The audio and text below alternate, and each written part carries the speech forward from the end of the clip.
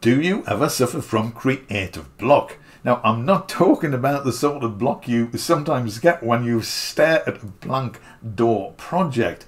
I'm talking about a block which is far more serious than that. It's about not being inspired to compose music at all. It's as if you've lost the will to compose. It's almost as if you have fallen out of love with making music, and I can't think of many things which are actually worse than that. So I thought I would ask everyone's favourite artificial intelligence program ChatGPT if it had any solutions to the problem. And it came up with 11. There's also a sort of bonus solution at the end, which we'll get to in due course. Now, I actually put up a little poll asking if you suffer from creative block in the community section. So if you watch this on mobile, you may well have seen the post pop up on your phone. If you're watching this on a desktop, I don't think YouTube actually tells you about posts which are put in the community tab section. Anyway, if you want to check out the post and see how many people suffer from creative block, click the community tab, vote in the poll, and you will get the results. The poll hasn't even been up for 24 hours yet, but the results so far suggest that a massive number of people often get creatively blocked. Anyway, let's see what Chat GPT has to say about it. I will pop in in between each section just to let you know what I think of the suggestions. Let's get started. Take a break. Sometimes, stepping away from music for a while can be beneficial. Give yourself permission to take a break, relax, and engage in other activities you enjoy. This break can help refresh your creative energy.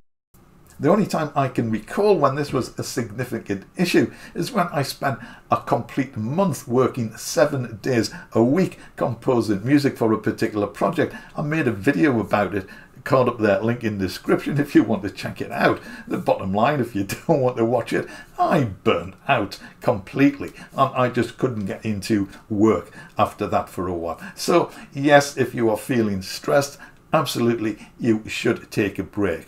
And just before we go any further, I think it is vitally important to look after yourself both physically and mentally. Next one. Explore new music. Listen to a wide variety of music, including genres and styles you don't typically explore. You might discover new sources of inspiration or fresh ideas by broadening your musical horizons. I think this is a great idea in any event, not just if you are feeling blocked. I have always had a, an interest in just about every type of music. When I was young, I listened to pop music, of course, on the radio, but I was also a fan of classical music. When I was about 16, I bought a guitar and I was writing folk songs. When I got a piano, I became interested in jazz. And I think the music we compose is a result and a combination of all our influences. So I think the more music and the more varied types of music you listen to will sort of feed into you and possibly make you a better or more interesting composer. Collaborate. Collaborating with other musicians or artists can be a great way to reignite your passion. Working with others can bring new perspectives and creative dynamics to your music. Yes, I think this is a good one as well. I have sometimes collaborated with a friend of mine, and it is massive fun. We haven't actually produced a finished piece of music, but the collaboration process is really interesting. He has a totally different approach to music composition than I do, and it's really interesting for us, I think both of us, to put these two things together and see what comes out. Nothing so far, but great fun and quite inspirational in its own way. Set small goals. Instead of feeling overwhelmed by the idea of composing a full piece, set small, achievable goals. For example, commit to creating a short musical sketch or experimenting with a new instrument or technique. So I guess if you are faced with writing a massive project, maybe a, a, complete album or an EP even, you may feel overwhelmed. So yeah, break it down into small steps. That's how you can solve just about any problem. So they reckon. But what I liked about this was the last section, try different techniques. Now, as I said before, I have an interest in all sorts of music, including some avant garde music, shall we say, serial music, music which I probably wouldn't try to write. But it's interesting, I think, to explore some of these different facets of music making. I do have a couple of videos about Krell music. I'll try to stick a card up there, but I will put links to those and anything else I talk about in the description. So that was a bit of a weird one. Very interesting. I enjoyed it. I'm not sure how much you will enjoy listening to it, but it was a wonderful creative experience, if I can say that. And I also experimented with phase music, made famous by Steve Reich, is it? And I made a video about that as well. So exploring and experimenting new musical ideas and techniques I think can be very rewarding. It can get you started again, get you creating music of some sort, and who knows where that might take you. Limit your options. Sometimes, having too many choices can be paralyzing. Try composing with limited instruments, sounds, or a specific theme to simplify the creative process. Yes, I really like this one. It's a well-known technique. Modern music production has given us access to literally hundreds of thousands of different sounds and it can be overwhelming. I have a silly number of synths, soft synths and presets, which I've mentioned before. So occasionally what I will do, I will try a synth which I haven't used for a while or possibly forgotten about. I'll go through the list of synths and say, oh, I wonder what this one does. And what I also often do is try to use that one synth for as much of the composition as possible. And I have done a couple of one synth challenges. Again, cards and links will be wherever I can put them. And I think this is a really fun and interesting exercise. And the idea behind limiting your options is that this tends to focus you more on what you have and what's available. And that extra focus can often result in creative output. Well, that's the theory. If you are feeling a bit stuck, I would absolutely recommend you try the One Synth Challenge. Even if you don't finish a complete piece, I think it's an interesting thing to do and it will help you understand that particular synthesizer a lot better than you possibly already know it. Routine and discipline. Establishing a regular routine for composing can help you overcome creative blocks. Set aside dedicated time for music, even if you don't feel particularly inspired. Sometimes, creativity emerges during the act of creating. Now, I don't actually know how musicians tend to work. I know how many writers tend to work, and including many famous writers. And many famous writers set aside a particular time of day when they would write. So that works for writing. Will it work for music? I actually don't know back in the day when I was writing articles and doing reviews of software and hardware synths for magazines, I did have a routine. That was just so I could get through all the work and get through the day.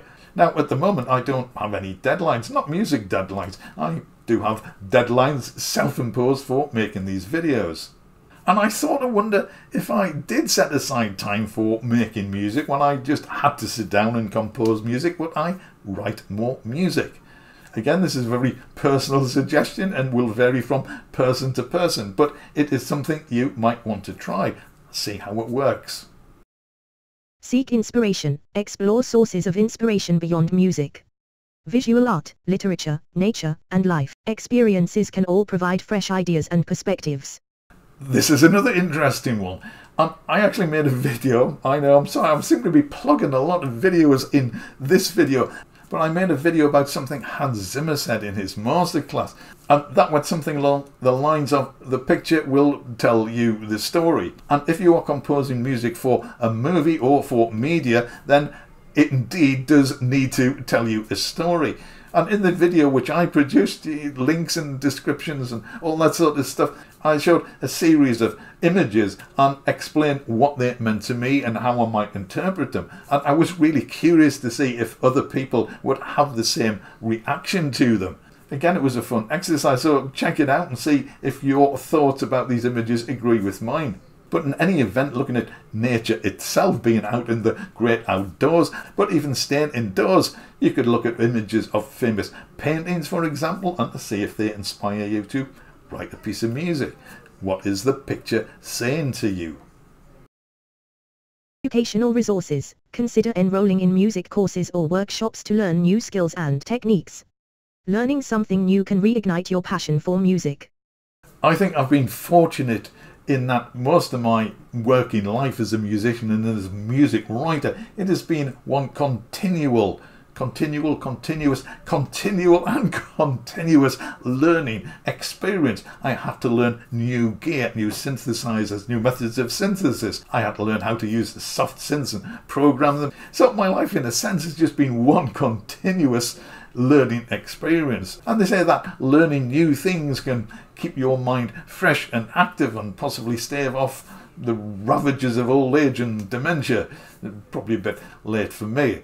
But if you are lacking in some areas of music production, now I hesitate to mention music theory, uh, but you could brush up on your music theory. Personally, I do think it's a big help. You don't need it to compose music, but I certainly think it helps. But other than that, you could improve your playing techniques. You could learn how to program synthesizers if you need to brush up on that. You could improve your mixing, your mastering techniques. There are 101, probably a thousand and one different things in the music arena that you could learn. And I think that's a great thing to do in any event. Connect with others. Join online music communities, forums, or social media groups where you can share your work and connect with fellow musicians. Feedback and support from peers can be motivating. Yes, feedback from peers can be motivating, but it can also be disheartening. You have to be very careful, I would say, who you ask to criticize your music. If you have a friend who will give you an honest opinion, don't ask your family or most of your friends because they will just say it is wonderful. That's what family and friends are for.